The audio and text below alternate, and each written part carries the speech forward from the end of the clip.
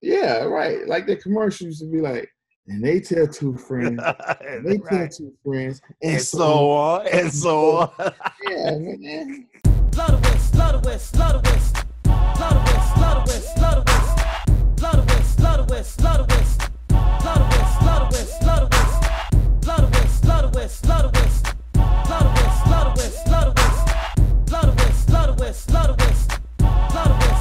Okay, man. So let's go ahead and talk about the NBA Finals.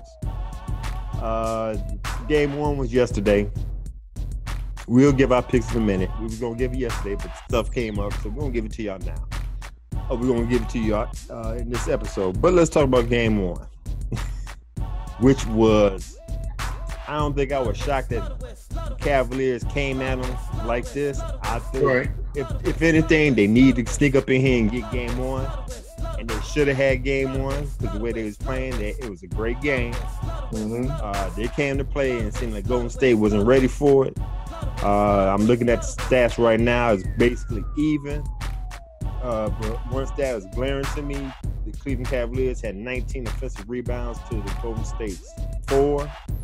But other than that, everything was uh, practically even. But there was, I'm gonna say, two situations that tilted the the um tilted the scales to Golden State's favor. A lot of people are up in arms with the referees on the uh charging call. They got changed to Mhm. block it. Now I have to agree. I, he, me and you seen the video last night. He hmm moved.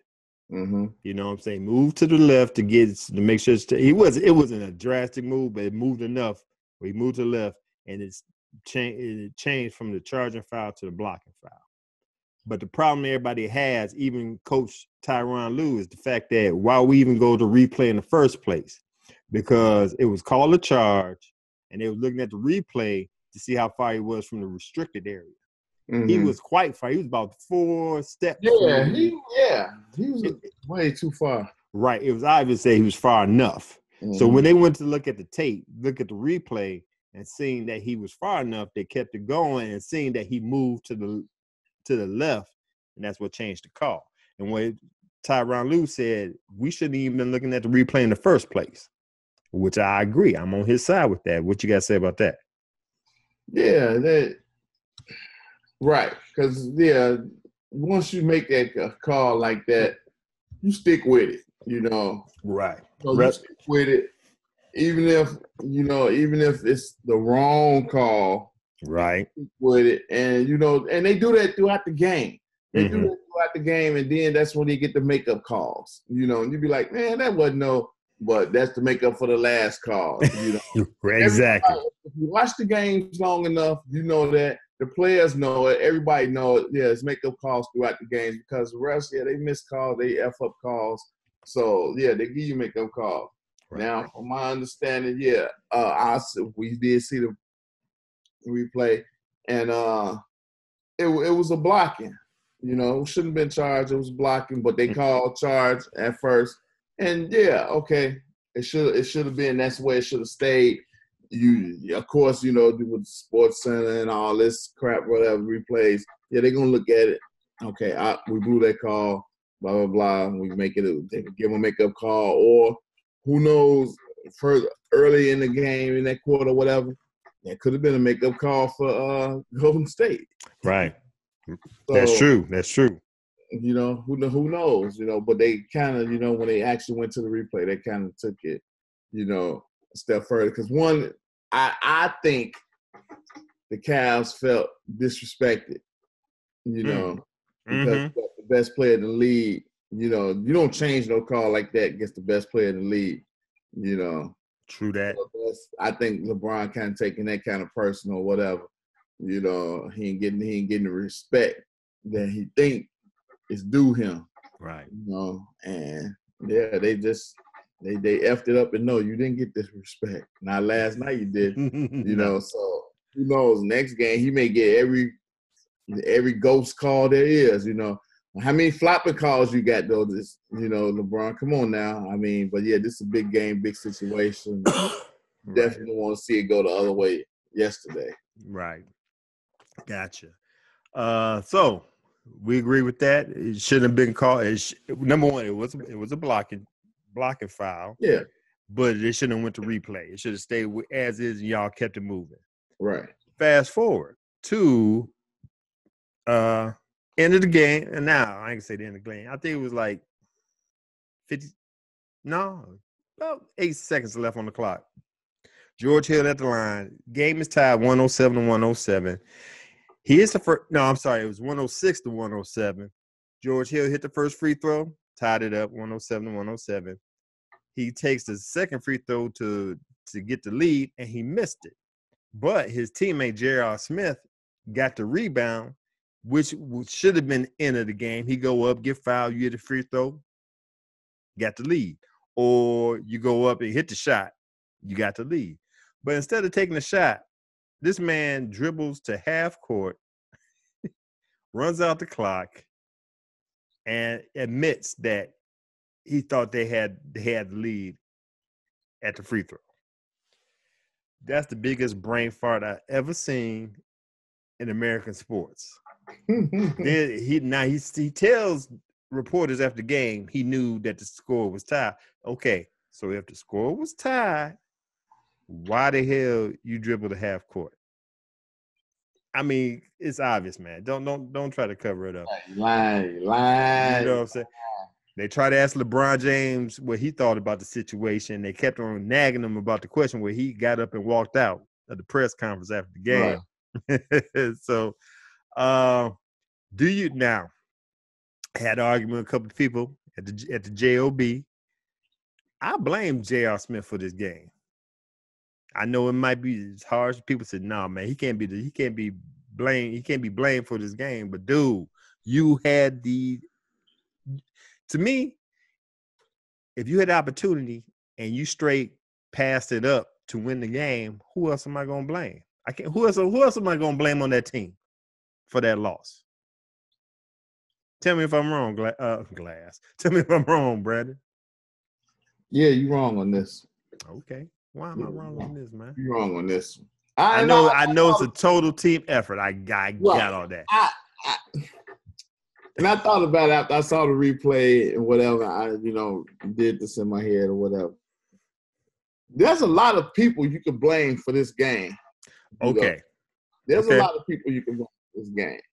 Mhm. I mean, first of all, you got George Hill, first and foremost. Okay. You go to the free throw line, you got to nail them. Mm. Right. He hit, he hit both free throws, game over anyway. Right.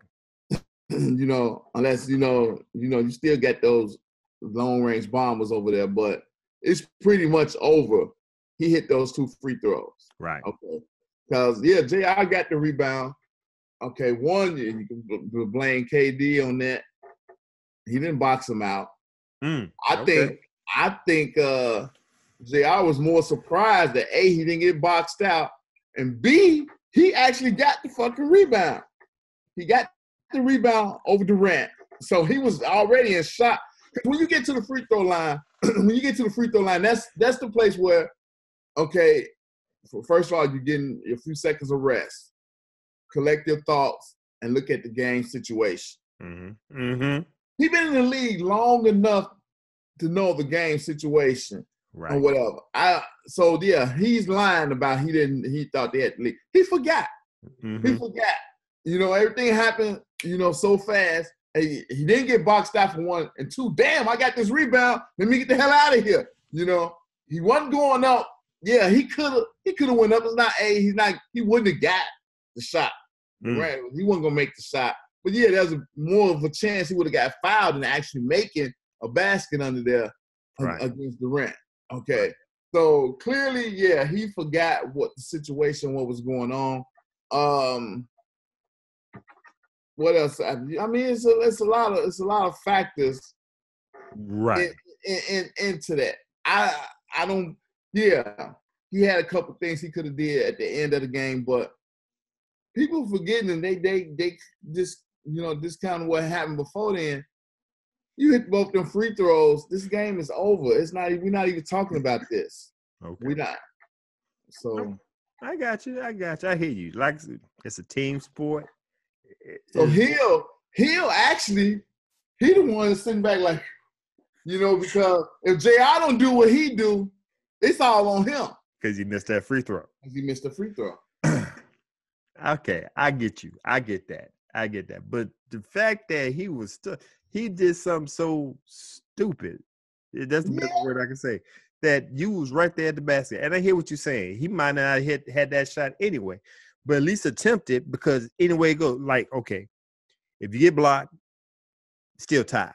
But you put the fourth F to try to win the game. You ain't try to win the game when you sitting here running toward the half court and, and hog the ball. So okay, he's not totally to blame, but hell, he getting a big share of that pie. Yeah, yeah, he gonna, yeah, he gonna get it. He gonna get it. He gonna get it. But I know in the next game Sunday, so he got a long way to trying to deal with it. Right. I don't. I I think it's more so on the free throw than him. You know. Okay. Uh, I think about it. I you know I think that guy that guy pretty much lost the game. Then I ain't gonna say lost the game because it was still winning the overtime, but mentally they was done. You know, well it, the game right once it was once it went into overtime, which Golden State knew, if we go into overtime, that's game anyway. You Mhm, know, 'cause mhm. You know, so they they didn't even look back. I think those they had twelve points before Cleveland knew what the hell was going on in that overtime. Right. I think they 17 to 7, 17 points to the Cavaliers 7. So Yeah. yeah, it's it was they, they passed up this opportunity because they should have had this game. Yeah, Like like anytime. Anytime you grow up in there, you gotta shock that team, which they did, I believe, yeah, and steal that game. Because if you steal that game, you go home one one. You take two games at home, you got a three one lead. That's what you and, and I think I didn't see the starting lineup, but I think that the biggest discrepancies in that first game was the rebounds. Right. Yeah, You like know. I said, yeah, they had especially the offensive rebound. They had like 10 more rebounds than uh uh the Warriors. Yeah, so you're gonna see a different lineup change. I think Golden State started a small lineup last night. Right. You know, Start a small lineup and nothing they gotta correct, they gotta correct that pick and roll because when the Cleveland Cavaliers pick and roll and when Steph Curry's sticking LeBron James, you can't have that. right? They can so they're gonna clean it up. So like I said, this is the opportunity that the Cavaliers should have should have took advantage of because Golden State gonna be ready for them Sunday night. Oh yeah, next game, yeah, this Next a, game is gonna be a straight blowout. I'm, Right, I'm just saying right now. right. Right. With that being said, LeBron James, he- I ain't gonna say I don't. I hate LeBron James, and I think because of public scrutiny of LeBron is better than Jordan, I might have a biased opinion, but I respect this game. He's the best player in the league right now, and it shows right now what you see in the postseason, what's going on. Man scored 51 points last night in a losing effort. Now, I think they said he's the sixth player in NBA playoff history. Oh, actually, sixth player in NBA Finals history to score over 50 points, and he's Yeah. the first one to lose it. That's a damn shame. He had no help. I got a problem when outside Kevin Love, and I gotta give Kevin Love a round of applause coming off of a concussion and you scoring 21 points. You the only person that was in double digits with LeBron James. Beautiful thing. Great, great job from Love. But to have just James James 51 points, Love 21 points, and nobody else scoring over digits, that's that's a problem. That's a problem.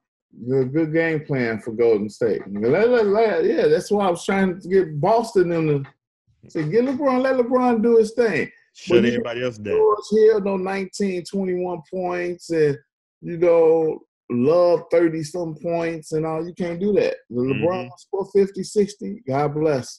him. You know, that's right. nice. He scored 51 points. He did it all. He was a great player. You know, but It's in a losing effort. right. Not a good thing. At, at, on the road, when you had them, you got to have them games on the road. You know how the saying goes: it ain't a series until the road team wins uh, wins the game. This is where it would have been interesting if if uh, Cavaliers would have won this game, but it is what it is. Now, also in the game. We already know Iguodala is out because of a bone bruise on his knee. Uh, Kevin Love got back from his concussion protocol. Now that's one more thing I'm gonna say. I'm gonna bring up with Kevin Love. I'm worried about Kevin Love actually because I don't know how many con- concussions he went through, hmm but the concussion he got when he supposedly banged heads with Jayson Tatum in the last series, it wasn't that hard. Matter of fact, I want to say it was shoulder to shoulder. And for him to be out like that, was that game six? I think that was game six. He was out. For that to happen like that, that means tell me you've been your your integrity, your your brain integrity is shot. Because remember back in the day with uh Michael Vick, he got concussed so much that he used to get hit in the ribs. he get concussed because he got hit in the ribs. That's what it looked like. Because I looked at that slow motion tape and with Tatum and and uh, Love hitting each other, Yeah. and it wasn't that, like I said, it wasn't that bad. And I think it was shoulder to shoulder. and Since his head jerked back, that's how he got concussed. And that's that'll show in your playing career. You know what I'm saying? So the Cavaliers need to need to keep an eye on that situation because he could be Yeah. concussed within this series right here. But uh, moving on, like I say, he scored 21 points. He's all right. Uh, Klay Thompson. J.R. Smith slipped on the floor. Were trying, trying to go over there to uh, Klay Thompson to steal the ball. He slipped on the floor and twists uh, his knee or his shin. It look it looked bad. If you look at slow motion, it looked like he could have pulled some ligaments in his knee. hmm He came back, played the rest of the game. I'm talking about Klay Thompson, but he had a little limp at the end of the game. I'm sure he's gonna play uh, in the next game, but that's another fact you got to worry about because you know once your adrenaline stop and that and that knee gets sore, you gonna have to stay off of that for for. I'm, sure they, I'm sure they iced it and Right. mobilized it immediately. Yeah. Right. So, with all that being said, bruh, game one is over. It really didn't change how I feel about my picks. What you you want me? To, I'll tell you. I'll go first. I'll go first. Go first. Who I think gonna win the series, hands down, easy as easy as anything I've been talking about for the past week or two. Golden State Warriors. They got too much. You, I know you got the king. I don't even like calling the king. You got LeBron James on the other side, best player in the in in the league right now. right now, yeah. But you can't have one man going up against four all stars. That's like Superman going up against the X Men. It ain't gonna work. you know what I'm saying? And uh, he has a little help, but this man cannot. I know he plays like he's he's not human. He's scoring 40, 50 points a game. I got all that, but he can't do that Can't win by duration of, for a duration of six to seven games. You know what I'm saying? Uh, he got tired in, against Boston when Boston blew out the Cavaliers. He's, he's sitting on the bench trying to get some air. He's a well conditioned player, but he's human. You know what I'm saying? So yeah, he scored 51 points this game. He ain't gonna score. I bet you he won't score over 20 some points next game. You know what I'm saying?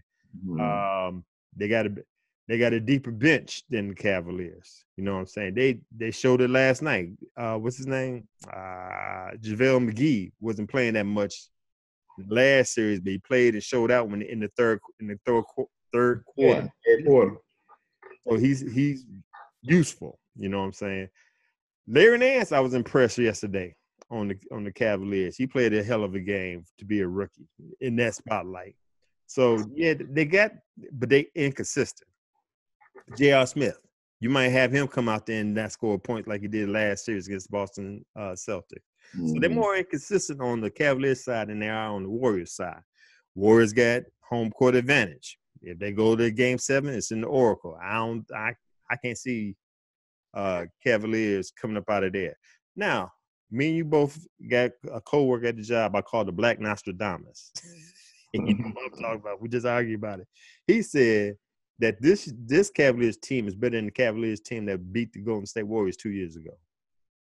I have no idea where he see that ish at, Yeah, I don't know. but nah, I don't think so. It, it ain't gonna happen. They got KD now. They didn't have KD in that game.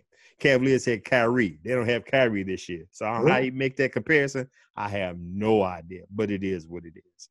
With hmm. that being said, everything everything when the dust settle, if LeBron, I'm just gonna say I'm gonna give the gentleman sweep. Five games. Just because LeBron is LeBron. He might win one of them games at home, and that's it. So I got the Golden State Warriors in five. What you got, bro? Yeah, that's what I had winning one game. I mean, Cleveland winning one game, but I think they missed it last night. Mm-hmm.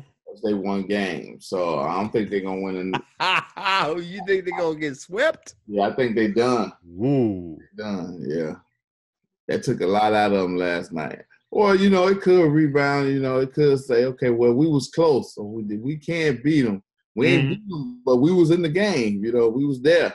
You know, we Mm-hmm. had a shot to beat them. So if we tweak this and tweak that, normally I would say, yeah, that's that's possible, but that's a wake up call for Golden State too. They gonna be like, hey, you know, we could have got beat. You know, we could we, we could have got beat last night. So we put these bums away early. Yep. You know, I and, agree. I and, agree. and take and, and get that taken care of with the quickness. So yeah, I I had before the series started, I said five games. Uh they missed the opportunity, so I don't think they're gonna win the game now. Mm. So, Okay. Y'all heard it here. I said five games. Brandon said four. We're both going with Golden State. Now, before we end, let me ask you this question before we end this, end the episode. Everybody's complaining about, you know, this is the fourth time, fourth in a row that we have the Cleveland Cavaliers and the Golden State Warriors in the finals. First time ever in national, in national, first time ever in North American sports history that something like this happened. And I have to agree with the Golden State Warriors. They asked Klay Thompson. I think they asked Draymond Green. They was like, dude, okay, if you don't like it, y'all beat us. Y'all put a team together to beat us. Beat Right. us or beat the Cavaliers. If you don't, if you tired of this, it ain't their fault. They didn't make the schedule. They didn't make the lineup. That's on them. So you you got to build team in the East to go ahead and knock them out. Until then, we're gonna keep on having this. I have no problem with it at all. You know, it could be boring to some people, but you're getting the best out of the best. I like everybody still crying about KD joining the Golden State Warriors. I we talked about this before. He was a free agent. He was free to go wherever the hell he want. He went to the Golden State Warriors to get a ring. He got his ring. Look what LeBron joined. As soon as he leave the Cavaliers, he gonna go. I mean, as soon as the season's over, he gonna jump to another team. What's the difference? No difference. Right. So that's how I feel about it. I don't know if you agree. It is Yeah. what it is. If you ain't happy with it, y'all y'all build up a team to go beat the Golden State Warriors. You build a team in the East to beat the uh, uh, Cleveland Cavaliers. That's how I feel about it. Yeah, that's that's that's the way it is, man. It's just the way it is. I agree. So okay, we seen game one last night. Warriors won 124 to 114 in overtime. It might have been the last attempt for the Cavaliers. I'm gonna say they're gonna win one of them games at home. We'll see.